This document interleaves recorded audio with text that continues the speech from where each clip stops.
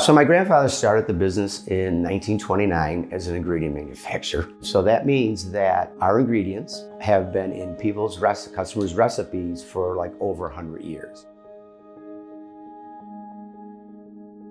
As we grew that, I started going back to school because I wanted to make candy. And my grandmother Riley, we grew up on toffee, and it's her English toffee recipe that we use, and that's the bones of my business. So we put up three walls, and it was 300, 300 square feet. That's all it is. So now we have no sign, we have no awning, we have no marketing, and people are walking in the door. They had this little pocket store carved out of that um, factory, and it's really special, you know? Um, you could tell it was like a passion project for Julia, and after 20 some years, they had grown such a client base that it was like time to kind of pursue this next chapter. When we met Amy, she and her team were just really creative enough to say, hey, we got to hear what you guys want.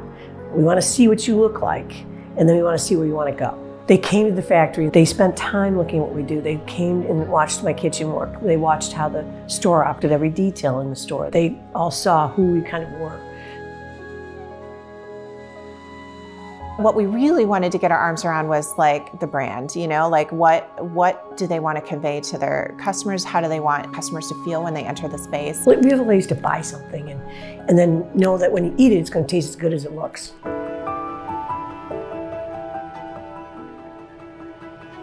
When you think candy store, the obvious or more cliche move is to go with kind of a whimsical feel or something that's a little bit more juvenile. And we wanted to kind of do the opposite, you know, because I think Burke is a really elegant brand.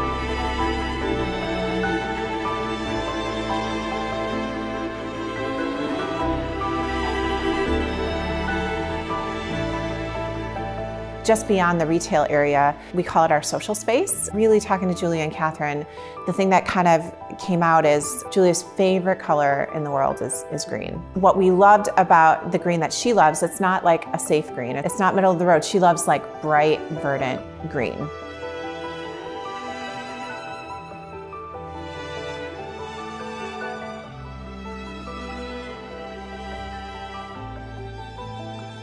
We took a 7 8 inch grosgrain ribbon and we lined all the edges of the walls in green, which is a direct nod to how the Burkes wrap all of their packaging.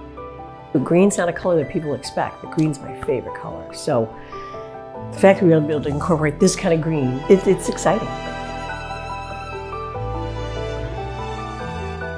So instead of just doing like a typical rectangular opening between spaces, we did arched openings, you know, which are very elegant. And I think it adds such charm to that area.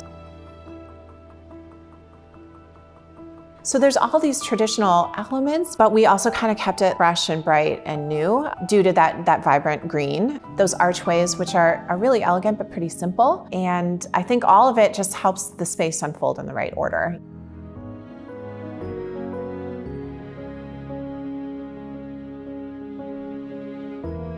We started 25 years ago. We've grown, we learned, we went to school, and we've created really good chocolates. And it is just a treat to make sure that we've been able to do it right every day, have fun doing it, and having people want it. I mean, there's no greater gift. Our clients work really hard in their businesses and in life and like when they walk in the door, we really want them to feel joy, to be comforted or excited or calmed or whatever it is that they're trying to accomplish. That's what we want their interior to, to do for them. This is who I am. I mean, this is, and this is, this emulates what I am and what our family is. And, and, I, and that's the thing I think that Amy captured. And I don't know how, you know, in some ways I feel like, how did she see that? But she saw it. But I do think this is very much Burke. This is Burke to me.